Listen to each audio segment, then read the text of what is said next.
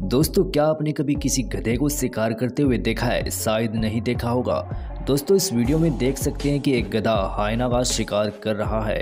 हाइना का नाम आपने नहीं सुना तो आपको बता देते हैं कि हाइना जंगल का एक ऐसा जानवर है, जो कभी कभी झुंड में शेर को भी मात दे देता है। हाइना झुंड में बहुत ज़्यादा खतरनाक होते हैं और यह बड़े से बड़े जानवर को शिकार बना लेते हैं। हालाँकि यह खुद आज एक गधे के हाथों शिकार बन चुका है। दोस्तों वीडियो जरा भी पसंद आई हो तो वीडियो को लाइक करना न भूलें और चैनल को सब्सक्राइब कर दें। धन्यवाद।